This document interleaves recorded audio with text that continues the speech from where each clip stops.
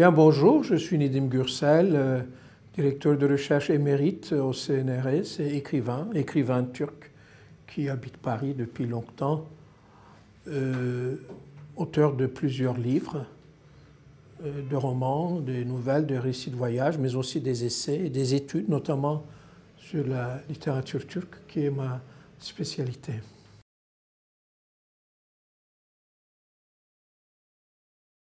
Le regard que portaient les chrétiens sur l'islam, euh, d'abord, euh, croyaient que c'était une punition envoyée par Dieu pour leurs péchés. Et après, le Moyen Âge a considéré l'islam comme une menace et son prophète comme euh, un imposteur. C'est le terme qui revient souvent.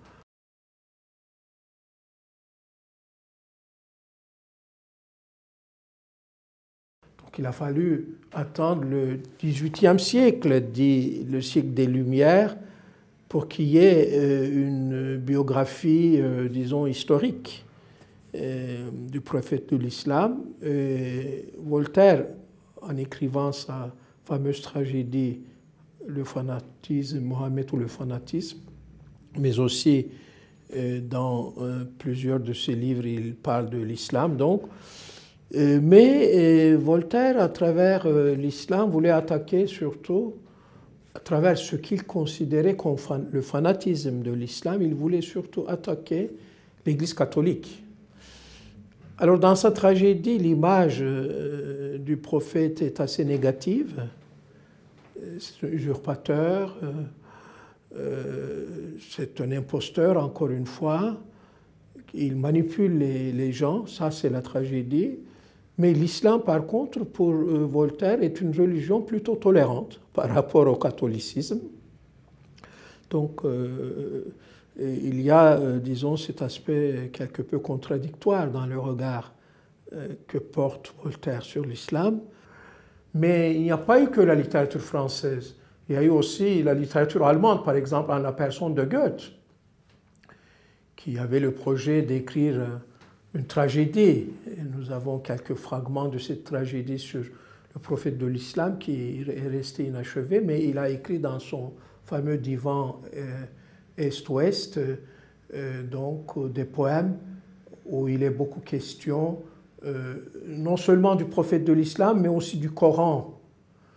Et j'ai consacré un chapitre à Goethe Curieusement, Rilke, par exemple, qui est un grand poète du XXe siècle de langue allemande, a écrit euh, un poème tout à fait étonnant qui s'appelle La Révélation, qui, est assez fidèle à la Syrah et, qui donc euh, euh, parle de la révélation dans la grotte de Hira, comment le prophète a reçu son premier message, etc. Mais au XIXe siècle, et là c'est quand même très intéressant, il est question d'un grand tournant, car euh, l'Occident ayant la suprématie militaire et en pleine colonisation, se sentant sûr d'elle-même, porte un regard différent sur l'islam, un regard assez complaisant, assez, je dirais, positif. Un poète, par exemple, comme Lamartine, le poète du fameux poème Le Lac, euh, a fait du prophète de l'islam un héros romantique. Dans la légende des siècles, Victor Hugo en parle et il met l'accent sur son côté humain, sur sa modestie, si vous permettez, je vous lirai juste un petit passage.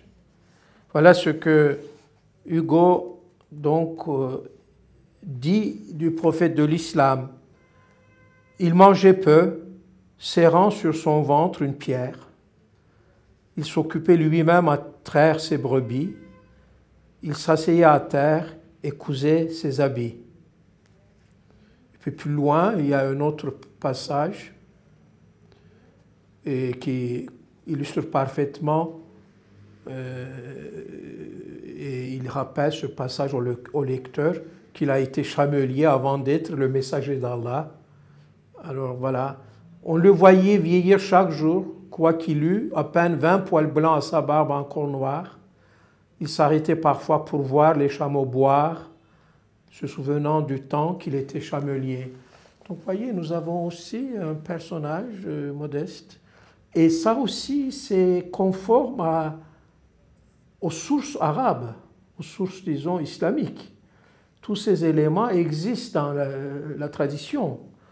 Et curieusement, ces deux grandes figures romantiques du 19e siècle se réfèrent à cette tradition, surtout Lamartine, qui a écrit un livre entier sur euh, Mohammed. C'est le premier volume de son histoire sur l'Empire ottoman.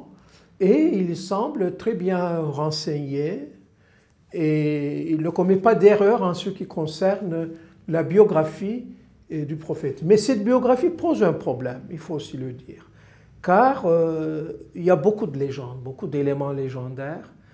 Euh, comme vous savez, les, premières sources euh, remontent à l'époque abbasside, donc la première biographie de Mohammed a été écrite par Ibn Hisham, euh, deux siècles après le décès de Mohammed. Donc, il y a aussi il y a deux siècles et certains même prétendent qu'on ne peut pas vraiment écrire une biographie du prophète de l'islam.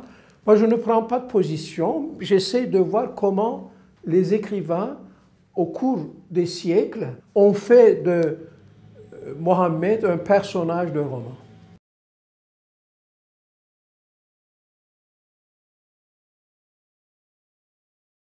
Quand on regarde l'histoire, on s'aperçoit que l'islam a toujours fasciné l'Occident et donc euh, la France. Il y a d'ailleurs euh, le fameux titre d'un livre de Rodinson, c'est je crois la fascination de l'islam. Eh bien, quand on lit euh, mon livre, on s'aperçoit aussi que depuis le Moyen Âge, cette fascination a bien existé, notamment dans la littérature.